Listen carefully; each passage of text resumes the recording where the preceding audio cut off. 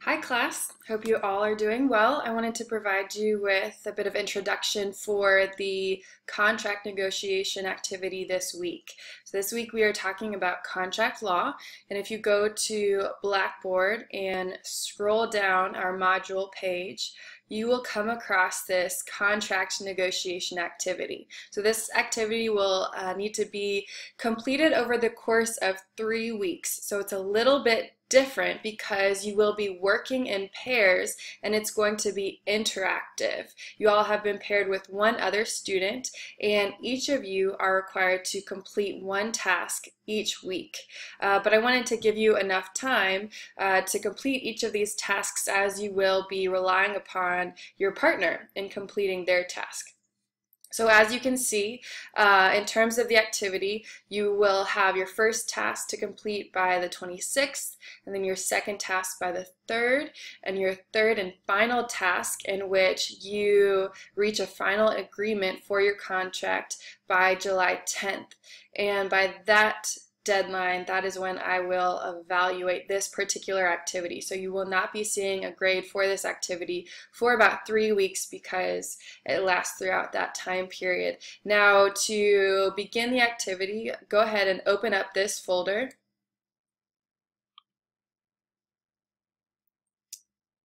And uh, read through the directions for the activity. Uh, essentially, with this week being focused on contract law, I wanted to give you an opportunity to actually engage in contract negotiation.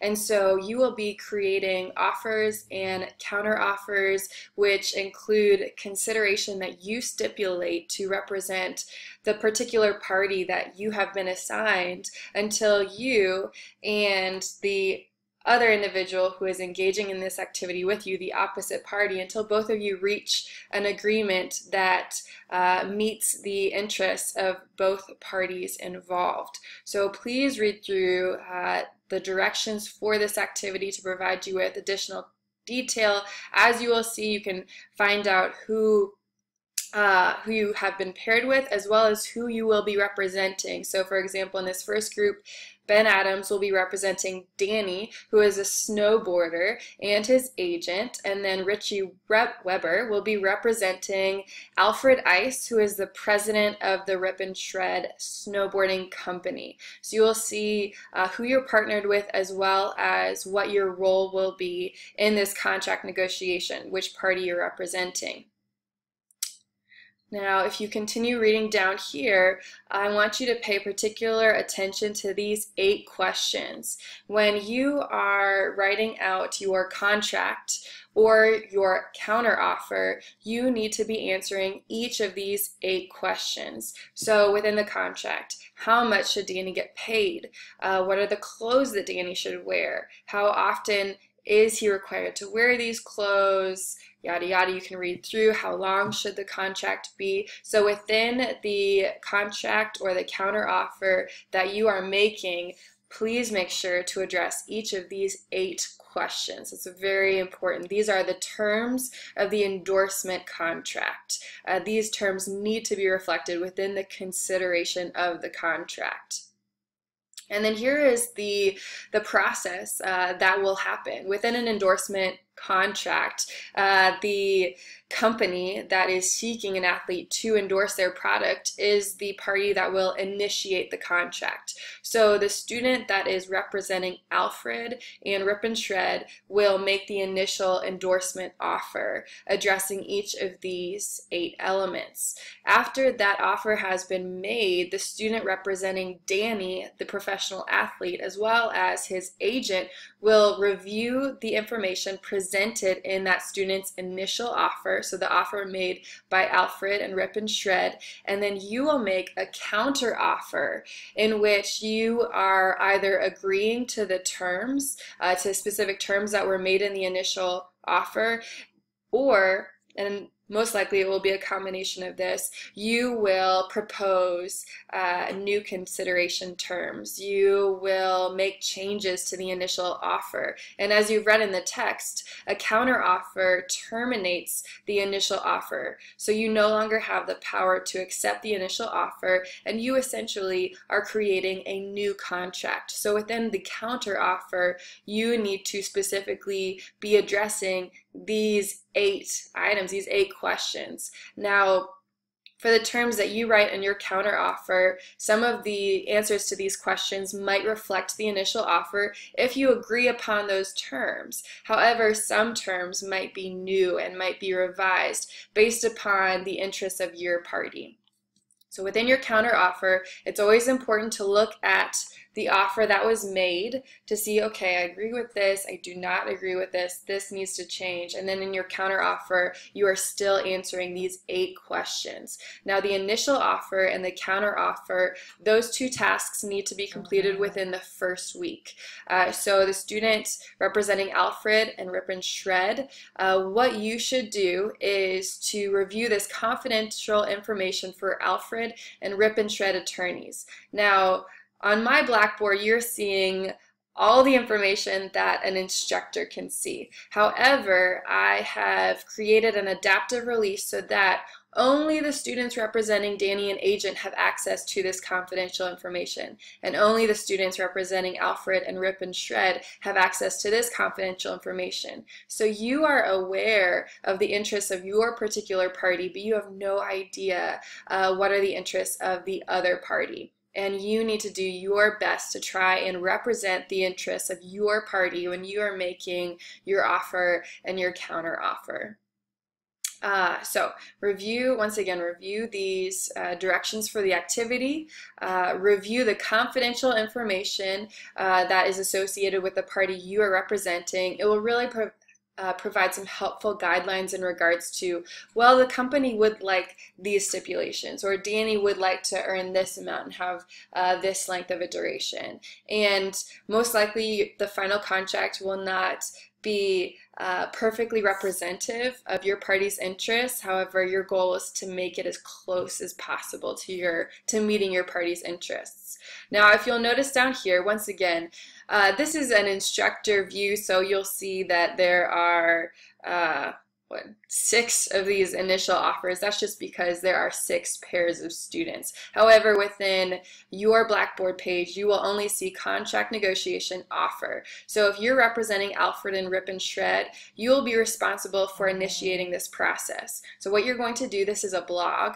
You will click on this blog, and as you will see, for each of these blogs, it provides you with some background information on the negotiation or the endorsement deal, uh, which should be helpful. So basic scenario in regards to Danny as the professional snowboarder and Rip and Shred as a snowboard company uh, and this uh, negotiation, uh, what they're hoping to accomplish, as well as some general information about the athlete as well as the Rip and Shred company uh, that everyone has access to. Very basic information just so that you're informed when you're making these offers and counter offers. Now you'll see once again these eight questions that need to be answered in each offer and counter offer. So this is background information for you, um, but what you will do is you will create a blog entry and in that blog entry you will answer right in here, you will want to answer those eight questions. You might want to copy and paste those questions into this blog, uh, and you'll answer uh, those eight questions, and then you'll post the entry. Now you, as well as the student you're paired with, will be able to view your blog entry, which is important. Um, let's see because when it is time for Danny and his agent to make a counteroffer, what they're going to do is you will first go into this contract negotiation offer, you will review the blog post, which will pop up right here, which will represent the initial offer made by Alfred and Ice. And then based upon that initial offer, you are going to present a counteroffer. Now you will make this counteroffer in a new blog. And I'll show you where that is.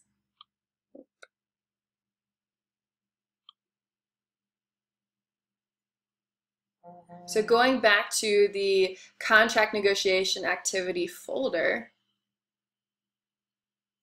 Remember, first week, the student representing Alfred and Rip and Shred needs to make an initial offer. So if you're representing Danny and his agent, you need to wait until uh, you see a blog post in the initial offer. Now, if any groups are having difficulty with their partner not posting in time, please let me know and I can help facilitate this process. Uh, but once that initial offer is made, review it, and then you will make your counteroffer, counteroffer number one, in this post post and you'll see the same uh, background information uh, and you will create your blog entry and you need to make sure you're answering those eight questions. So that uh, those are the tasks for week one. Uh, and I am anticipating that you will not be able to reach a final agreement after one round. Most of the time, employment contracts, endorsement contracts, uh, they take a long time. They go back and forth between agent, between the company, until a final agreement is met. Uh, and I wanted to simulate that process of it takes a while to finally find terms that are mutually agreeable to both parties. However, we're just going to go through a few rounds of counteroffers until we reach a final agreement just for the sake of time uh, available in this class. So after the first offer and counteroffer are made in week two, uh, counteroffer number two, so Alfred and Rip and Shred, you're going to review the uh, counteroffer number one, and then you will make a counteroffer to that. Uh, so we're trying to refine and refine this contract until we can reach a final agreement. And in week two, uh, counteroffer number three, Danny and agent, you'll read the counteroffer number two, provide a counteroffer number three, and the goal for week three is to come to a final agreement. And if we click on this, uh, once again, you'll see the basic um, scenario and about the players. But what I like the final agreement to look like is, is right here. The contract should uh, identify the duration of the contract, the overall payment, uh, the conditions for receiving the overall payment, um, as well as any other terms or conditions that you and your partner came up with. And then um, both students' names. Uh, what I expect to see is probably a blog entry from both parties in which the contract matches. Uh, and you can go ahead and write your name under whichever party you're representing. Now, if by the time the final agreement comes around, you still need a couple more counteroffers, feel free to create as many blog entries as you need to in this final week. But at the end of the final week, what I need to see is a contract from both of you that match, uh, that represent a final agreement. And once you've completed that, I will review all of the counteroffers uh, and the final agreement just to see your participation and we'll evaluate this activity uh, at that time. So I hope that provides you with enough information for to know how to engage in the activity. Once again, your page will look a little bit differently than mine because I have every single group's uh, blog posts uh, present on mine. But make sure that uh, you are doing your part in a timely manner because your partner is relying upon your work in order to be able to complete to complete theirs. Make sure every offer and counter offer reflects these eight questions. Uh, and make sure you reach a final agreement uh, by week three. But stay on top of this. Every single week for the next three weeks, you have a task. And I'll be monitoring them to make sure that uh, these tasks are being completed and please contact me if you're having any difficulty in terms of uh, your partner completing the necessary work for you to be able to engage. Uh, enjoy this activity. This has always been really fun uh, in class to do and we're going to try this out online and I hope you enjoy engaging with the students in this class and I'm excited to see what you come up with. Okay, well, good luck and I will talk to you soon.